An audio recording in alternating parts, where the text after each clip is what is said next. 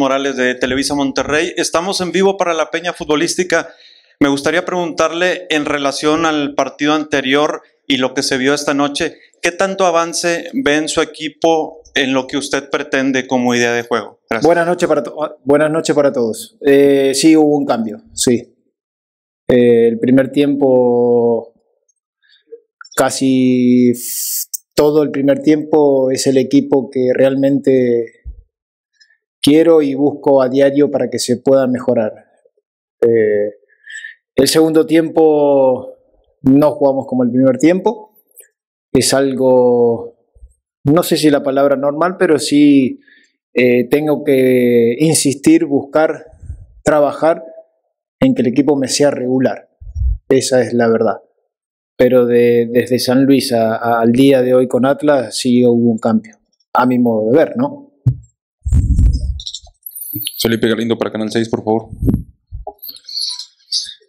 Gracias, Emanuel. Hola, profe. Felipe Galindo de Canal 6 Deportes. Eh, en relación un poquito a la pregunta de, mi colega en cuanto a el agrado del, juego que usted tiene sobre o que intenta poner sobre Rayados de Monterrey, ¿qué tanto le agrada hasta este momento, tanto local como visita, como San Luis, como, como Atlas? Y que en una segunda pregunta, si me lo permite, ¿Qué le parecieron o qué opinión tiene sobre, sobre algún sector que, tuvo algunos abucheos a pesar de que se, consiguió la victoria el día de hoy? Sí, eh, buenas noches. La primera respuesta la contesté ahí con tu colega.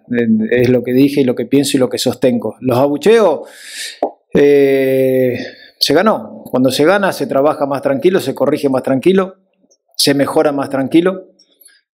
Eh, la verdad mucho no, no me quedé con la idea de, del equipo ha sacado los tres puntos en casa y eso es importantísimo. Sergio Treviño, Fox Sports, por favor. Gracias, Ma. ¿Cómo estás, Tano? Sergio Treviño para Fox Sports. Eh, preguntarte sobre la cuestión defensiva. Tú lo mencionaste cuando llegaste justo aquí que, que, la gente aprendiera a sufrir, ¿no? Porque te gusta ir más hacia el frente, buscar ese, ese tema ofensivo, ¿no? Eh, ¿No crees o, no te da la impresión que, le llega muy fácil el rival a tu equipo? Digo, en esta ocasión Atlas tuvo varias, no las concretó, pero ¿no crees que les llega muy fácil a tu equipo? Buenas noches. Yo creo que el equipo se mete más atrás de lo que me gusta a mí. Vimos a partir del minuto 60 donde los chicos tienen, no sé si la costumbre o, sentirse cómodo de, de mitad de cancha hacia adelante. Pusimos todos cambios ofensivos para ir para adelante y al contrario, iban para atrás. Entonces es un proceso donde ellos tienen que entender donde siempre vamos a ir a buscar el segundo gol, perdón, y no ir a, hacia atrás a donde se sientan cómodos. No, no me gusta. Y creo que el riesgo lo vamos a correr siempre. Prefiero correr el riesgo al minuto 80 como la que salimos jugando por abajo, pero creamos una situación de gol siempre. De nada. José Luis para BC y después Héctor Tello para ESPN. Gracias, eh, buenas noches. Dentro de, ese segundo tiempo, sobre todo, eh, te vi particularmente, digo, creo que fue una apreciación general, eh, un poco acelerado, vaya, en los cambios, en tratar de darle ese cambio de ritmo a tu equipo, solicitando los cambios rápido, tratando de, impulsar al equipo en ese sentido que decías que se echa eh, sí, pero está todavía el equipo muy desacostumbrado o todavía no se puede acostumbrar netamente a tu sistema. Es, es, un cambio grande, es un cambio grande, porque...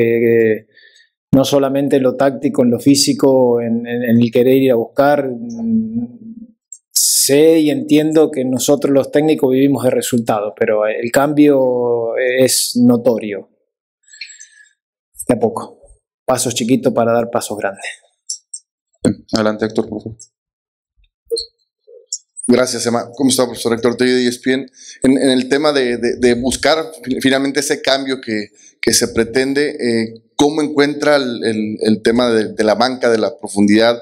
Hoy vimos al, Chespi tener minutos y, y bueno, eh, Joao, que bueno, encontró también su, su, lapso en el que fue incisivo, pero encuentra las, a, las armas, las herramientas para cambiar el escenario o para tratar de ser más eh, al equipo a, lo que usted pretende? Buenas noches. Hoy cuento con estos jugadores. No puedo hacer futurología hacia adelante. En el momento que yo crea que el jugador eh, ha entrenado y se ha preparado para tener la competencia, lo, lo voy a poner. El nombre no, no miro el nombre. Si hay un joven que lo ha hecho bien y creo que puede hacer un cambio en la parte donde creamos que nosotros puede ser importante, adelante. Siguiente pregunta, Juan Reina para Cancha Norte y después Axel Solís para Heraldo Radio. ¿Qué tal, profesor Juan Reina del periódico Cancha? Me gustaría preguntar en específico de Jonathan González, un chico que hoy completa los 90 minutos desde 2021 que no, no jugaba con el primer equipo y que en su momento llegó a ser considerado como una de las futuras promesas. ¿Qué le pareció su desempeño y qué tan importante se vuelve en su sistema? Buenas, buenas noches, qué bueno, la verdad no sabía. Mm, Felicitarlo por el partido que hizo, si bien hacía muchísimo tiempo que no jugaba y 90 minutos.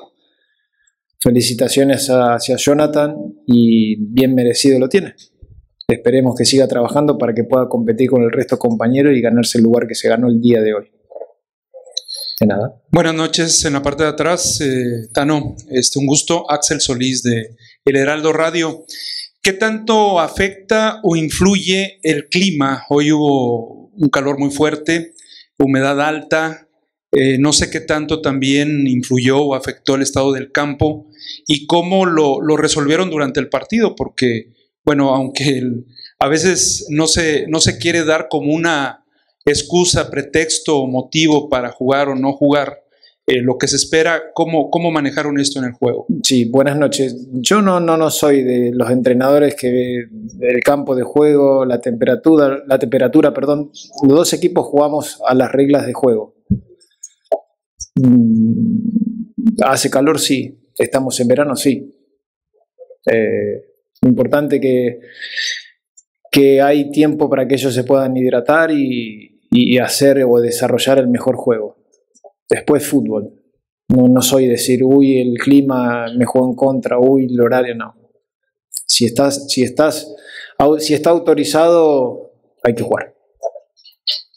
Últimas dos preguntas, Gil para Once Diario y después Vladimir para TUDN. Hola, profesor. Buenas noches. Gilberto Balán para Once Diario.